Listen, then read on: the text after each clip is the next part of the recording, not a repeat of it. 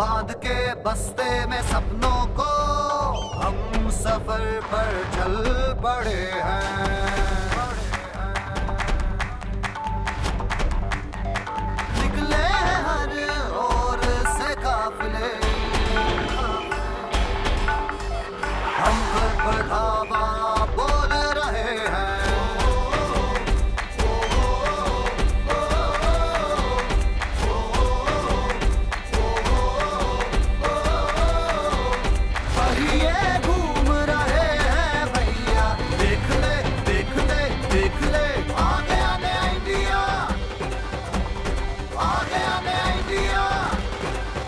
नई सोच नई पहचान टीवीएस टायर्स